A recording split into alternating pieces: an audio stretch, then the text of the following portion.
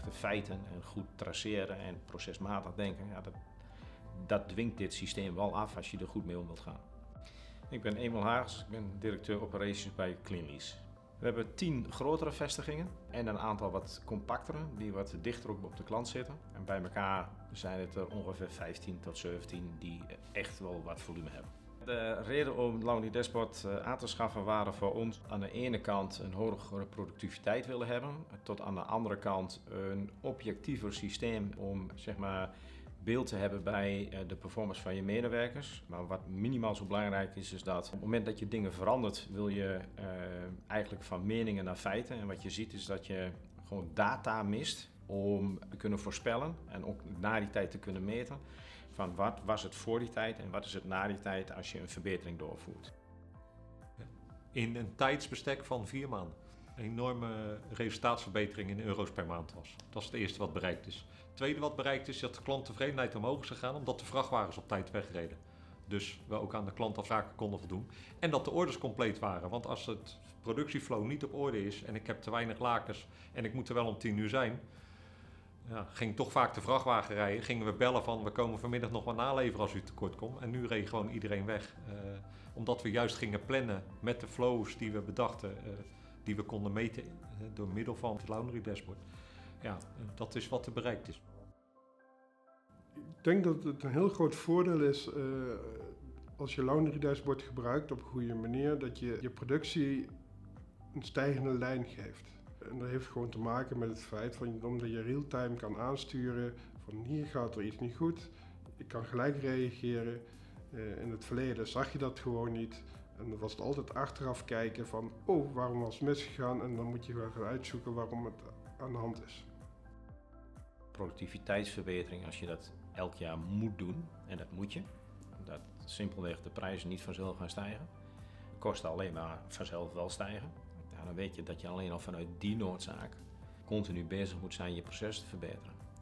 En dan is het hebben van echte data. En dan gaat het niet alleen over het personeel, of die snel genoeg werken of wat dan ook. En of er een patroon in te ontdekken is. Maar vooral ook, nou wat ik net al zei, als je, als je ziet dat uh, die heeft machine A en die doet er 600 en die heeft machine B en die doet er toch 500. Terwijl ze op papier hetzelfde doen, maar omdat de manier van insteken anders is of de, nou, toch allerlei details anders zijn, dat krijg je veel makkelijker boven water op deze manier. Je kunt het vergelijken met kennis uit een krant halen of kennis halen uh, uit een app.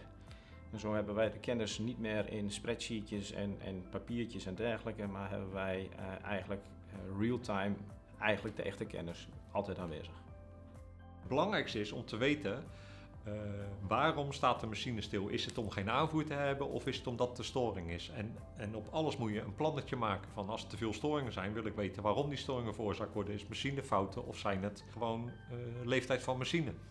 Door middel van data-analyse, met, uh, mede uit Laundry Dashboard de gegevens halen, kan al, heb ik meestal het antwoord al klaar voordat de vraag er is.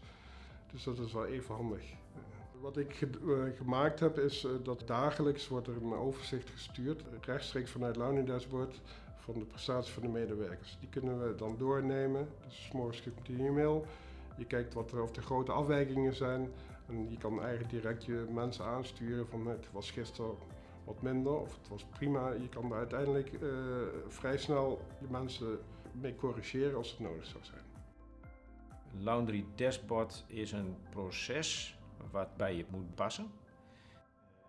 Dus het heeft iets te maken met dat je organisatie daar klaar voor moet zijn.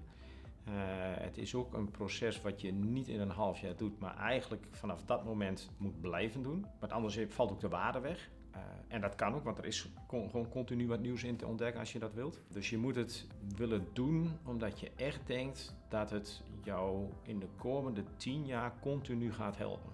Dus het, is niet een quick win gedachtetje. Maar dat vind ik met al het uh, continu verbeteren. Uh, er wordt vaak gedacht, we gaan even TPM doen of uh, 5S of Six Sigma of wat dan ook. Maar dat is echt fundamenteel. Die stap die maak je en die moet je ook doorzetten. En daar is Launi Dashboard is er daar echt een belangrijk ingrediënt in. Dus als je continu wilt verbeteren, als je processen inzichtelijk wilt maken, dan is dat een keuze niet van vandaag op morgen, maar van vandaag tot ver in de toekomst. wij hebben heel erg gestuurd op, uh, op aantallen, zeg maar, eventjes, om dat te organiseren. Daar hebben we de enorme stappen mee bereikt. Maar nu is het ook nog de vraag van, zitten we al aan het maximaal haalbare van de capaciteit van de plant of van de lijnen? Of zit daar nog heel veel rek in en hoe vaak vallen ze uit? En of uh, zijn er te veel storingen en dat soort zaken. En dat is wel een volgende stap waar wij hier nog wel enorm aandacht aan moeten geven om het te verbeteren.